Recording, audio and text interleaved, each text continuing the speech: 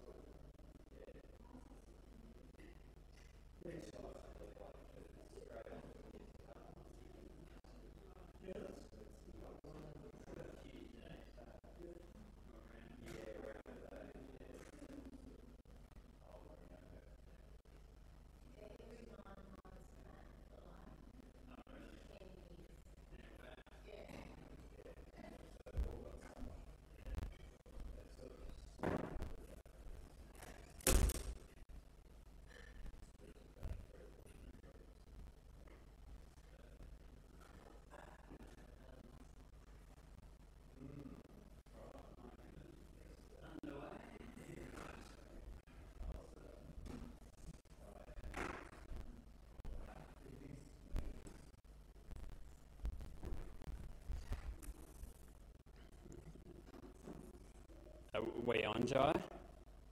Yep. Well, good evening and welcome everyone. Thank you for coming out tonight. I know it's school holidays and a four day long weekend ahead, so um, appreciate everyone coming out, especially leash and children for a big trip ahead. Um, we'll just, uh, if you just bow your heads, I'll open with a word of prayer. Our gracious and loving Father in heaven, great and holy is your name. We come before you as your children, as part of the great promises that you have promised to your servant Abraham. And we thank you that we can come together tonight to consider these wonderful promises that you have made to us and to all mankind.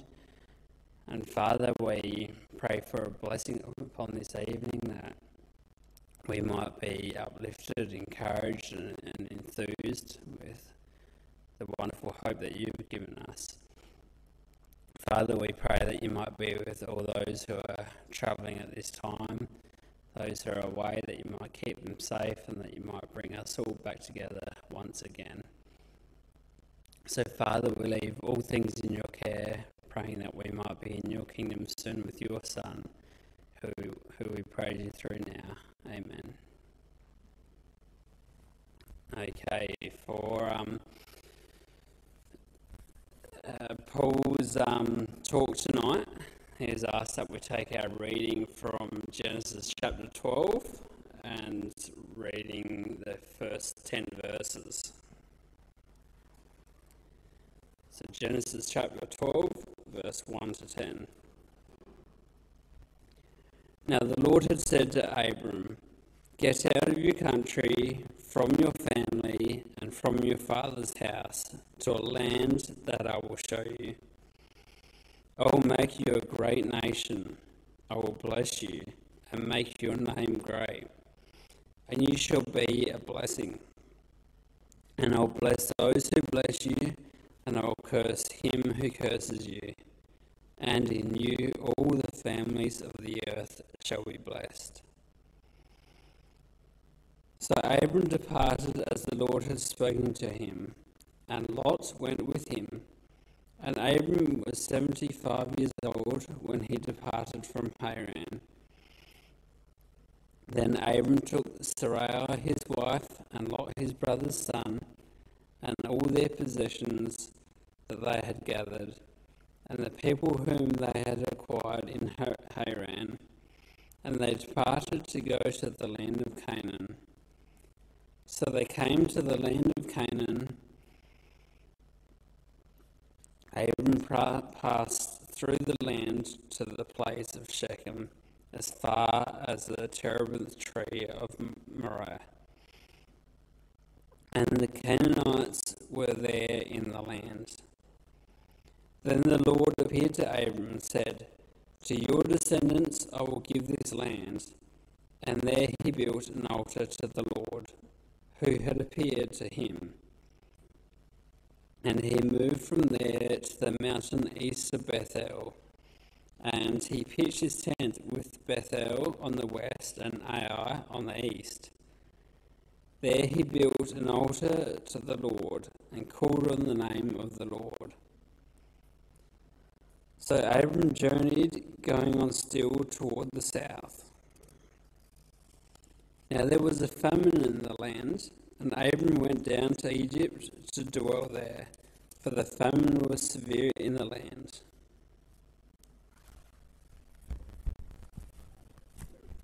That as introductory, we'll ask uh, Paul to come forward and speak to us about the promises to Abraham.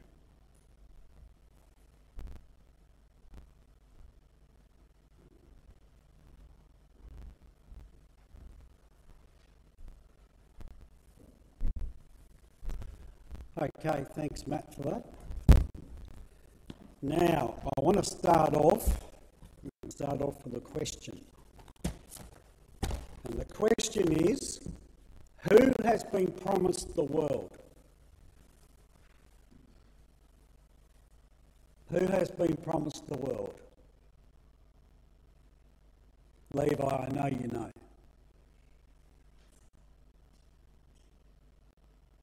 Who has been promised the world? I'm not going to go until you get, get this answer, so we could be here all night.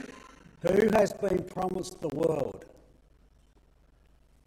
Yep. Abraham, excellent, well done. And who else has been promised the world? Well done. Yeah, Asher? Yes. Okay, all right. And who else has been promised the world? Who else? So we've got Abraham, we've got Jesus. Who else?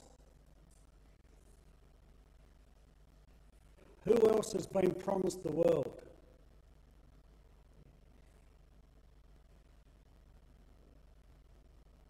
Surely someone knows. Who else has been promised the world? Come on, someone knows. Abraham, Jesus, and everyone. everyone. Okay. All right. Let's look, let's see if we can prove that. Let's turn over to Romans chapter 4 and verse 13. And um, we're not going to be looking up too many passages tonight because I'll have most of them up on the screen, but I want us to look at these passages here in Romans.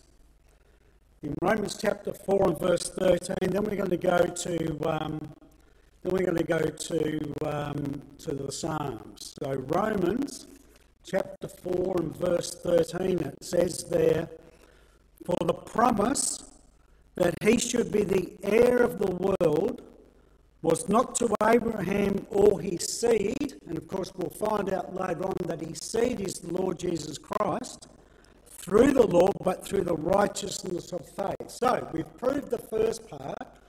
Abraham and Jesus are going to be given the, um, the land, the, the, the earth, So let's come back now to Psalm 37 and see where we fit in. Psalm 37. Okay, verse 9. Psalm 37, verse 9 For evildoers shall be cut off, but those who wait upon the Lord, they shall inherit the earth. Verse 11 But the meek shall inherit the earth and shall delight in themselves in the abundance of peace. So, verse 22 For such as be blessed of him shall inherit the earth, and they that be cursed of him shall be cut off. And in verse 34, wait on God has promised all of us the world. So tonight is really about how we can inherit it, what God wants us to do to inherit that land with Jesus and with Abraham.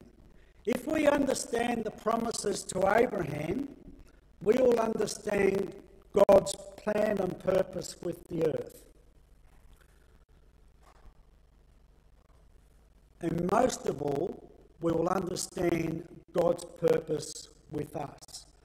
In Ephesians chapter 1, verses 3 to 5, it says, Blessed be the God and Father of our Lord Jesus Christ, who has blessed us with every spiritual blessing in heavenly places in Christ, just as he chose us in him before the foundation of the world, that we should be holy and without blame before him in love having predestined us the adoption as sons by Jesus Christ to himself according to the good pleasure of his will.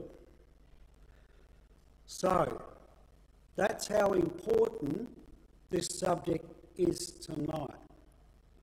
God has chosen us in Christ before the foundation of the earth, before even God made this earth. God knew all those people who were going to be in his kingdom. Now, before we um, before we go on, we just want to have a, a quick look at Abraham. We want to look at who he was and where he came from and that sort of thing. And then we're going to go into these promises that God made to him. Now, apart from um, Moses, no other Old Testament character is mentioned more times in the New Testament than Abraham. The life of Abraham takes up a good section of the, uh, of, of, the Genesis record. Um, and uh, he lived roughly from uh, 2000 BC um, so he would have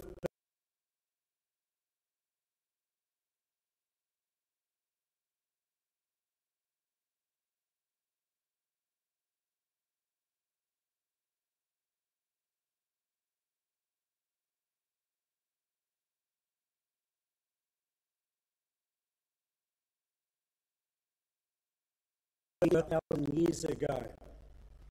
That's a long time ago.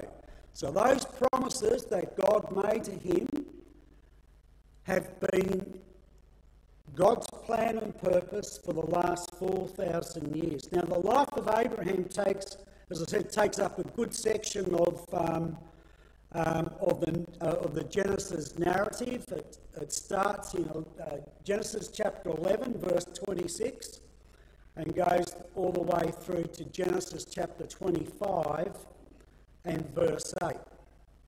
Now, although we know a lot about Abraham, we know a lot about his, um, uh, his latter life, but we don't know much about his early life. Um, we first meet Abraham when he's 75 years old. Now, when you get to my age, you start to think, well, 75 is not that old. But uh, maybe it is for you younger ones. But but he's 75 years of age at this time when he first when he was first given those promises. Now, in Genesis